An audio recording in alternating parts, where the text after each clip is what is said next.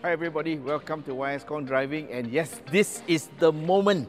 This is the one we've been waiting for so long and this is none other than the GR Yaris.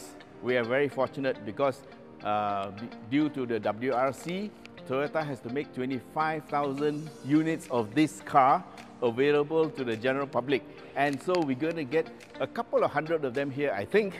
Not very sure, maybe a hundred plus units. And so for the next few months, everybody will be talking about this car. And why? Because this car is basically designed for the WRC, which is the World Rally Championship. So it's made as the base car. Of course, the actual rally car will have a few other things that are different, but this is the road-going version. But even then, the base model is quite potent. Imagine this. Well, there are some regulations they have to stick to, and that is why they have this car as a three-cylinder engine. Can you imagine a three-cylinder engine to go racing? Difficult, right? Yes, but uh, Toyota chose to have a 1.6 litre double overhead cam engine and uh, is also direct injection with a turbo. And it will develop, or rather it develops 261 PS or maybe 258 horsepower and 360 newton meters of torque. And this is the stuff that the WRC rally car is made of. So let's look at the other stuff that come with it. All right, so looking at the front, this car is uh, built based on the Yaris and it's a Yaris two-door. So you can see the front here is actually designed for rally use. They have a very square front and this is to cater for the wider fenders they will have on the rally car, I think. And so this is what it looks like and from the side I want to show you something else. As a rally car, it needs to have a very low um, overhang at the front and also low overhang at the back. So the total car is very, very short, yeah? The wheelbase is only 2560 mm, which is 10 mm longer than the Vios or the Yaris. So it is a very, very small car. And why do they run small cars in rallies nowadays? It's because of the regulations. They restrict the power that the car can develop, the maximum power that the car can develop is, is restricted. So therefore, they need to make the cars lighter and lighter. And the Yaris, this is the one that they have chosen to go for the World Rally Championship. Now, the, this car will do 0 to 100 in 5.5 seconds. This is the road-going version. And top speed of 230 kilometers per hour. And this is uh, actually electronically limited. So let's have a look at the outside. Uh, these are 356 mm brakes and they run four pot calipers on the front and actually by a strange coincidence these are exactly the same calipers that were running on my Celica GT4 and that was in 1992 so that is like 28 years ago the cars were running the same brakes. Of course this car is no it's not lighter. It is 1280 kilograms and that is just 10 kilograms heavier than my Celica GT4, which was a much bigger car. Okay, so this one has got all-wheel drive and uh, the front suspension is MacPherson struts. So, and here is the interesting thing about the back. They actually have double wishbone. So, guys, do you remember the TNGA platform? Well, this is the exact same platform they are running for this World Rally Championship car. So you can see the back here, the suspension is, it will be very similar to the Corolla uh, because it has to be built stronger. So even though this car is one, one segment below, I would suspect they will use the Corolla parts or even stronger. And uh, maybe for rally, they will use different material, yeah, to reduce unsprung weight. So you can see at the back, the overhang is very low and this is what the rally car will be made of and you can expect that they will have uh, widened fenders here and uh, to give it a wider stance. So uh, the height of the car is 1455 mm and the whole length is less than 4 meters, 3995. Okay, 10% of the body is made of aluminum and the interesting thing here is the roof. Yeah, this roof is carbon fiber. So it's not a carbon fiber wrap, yeah? It's actually real carbon fiber and it's made to keep the weight lower down. Okay, drilling to the inside.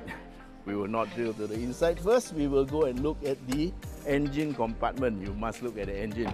Yeah, what does a three-cylinder turbo engine look like? And this is what we need to know. Okay, this is a rally car, so we don't need a lot of fancy stuff. Just one simple lightweight bar to hold the bonnet up and yes, it's aluminum. Fantastic. Okay, so here's the little engine, three cylinders, and uh, it has a 100cc more than the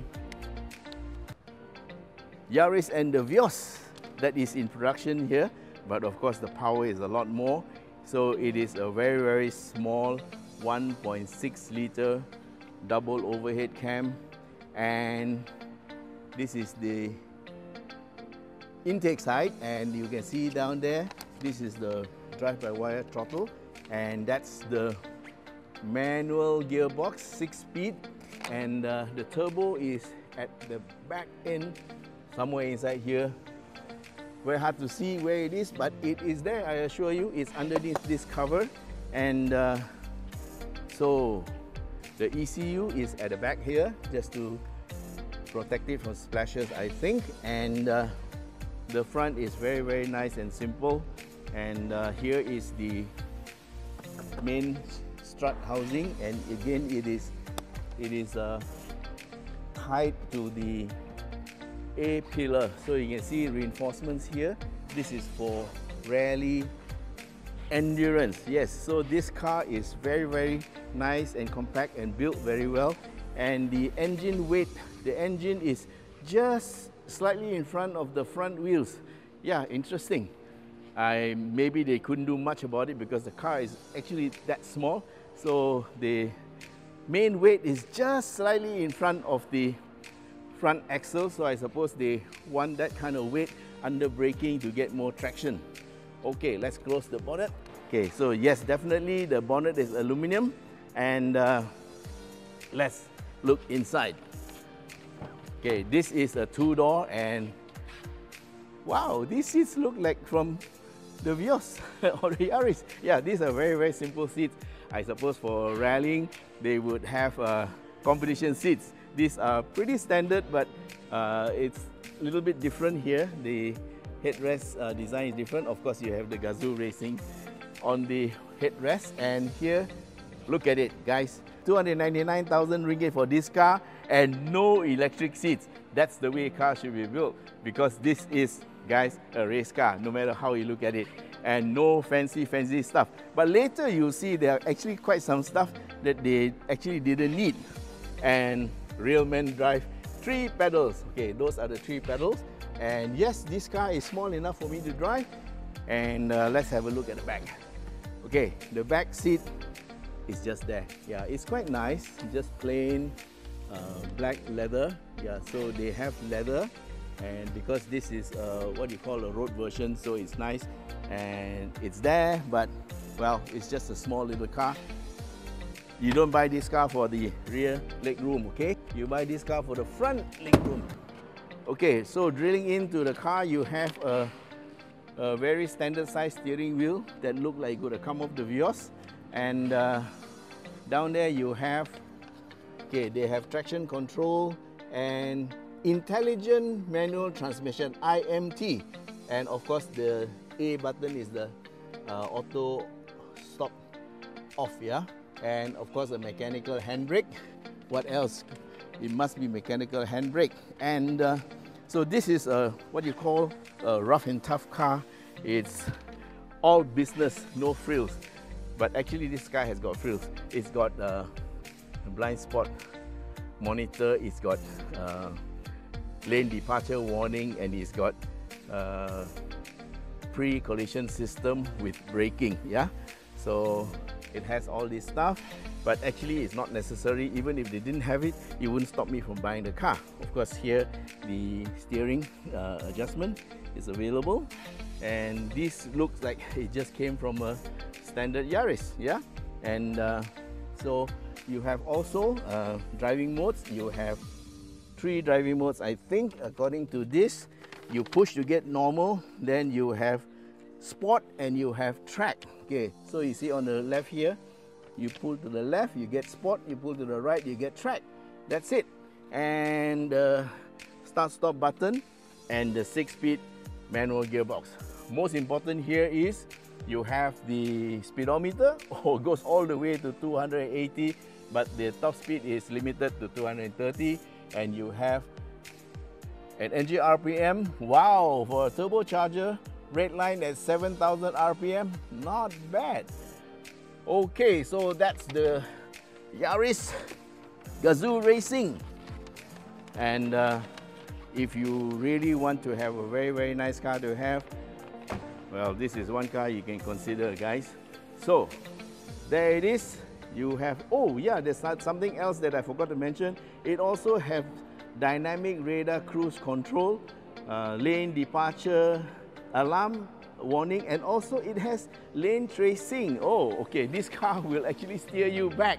Now, that's not something I want in my car. I don't need lane tracing. I don't need lane tracing. I don't need uh, lane departure warning. I don't even need dynamic radar cruise control. I just need the power, maybe bigger brakes, maybe bigger wheels. Okay, man, so this is the Toyota Yaris Gazoo Racing. All right, guys, thanks for watching, and I hope if any one of you are lucky enough to be able to buy this car, you will ask me to come along and say, hey, Wyatt, let's go up the mountain and drive this car. All right, guys, see you again. Bye-bye.